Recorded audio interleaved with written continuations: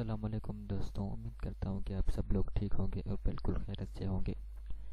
अबू बकर वो है जो ज़िंदगी इस्लाम के नाम करे, उमर वो है जो अदल इंसाफ आम करे, उस्मान वो है जो जिनके खून को महफूज कुरान करे, अली वो है जो शजात अपने नाम करे, माविया वो है जिन्हें हैदर सलाम करे, हसनैन वो, हसैन वो, हुसैन वो है जो आसमान का पहरेदार बने,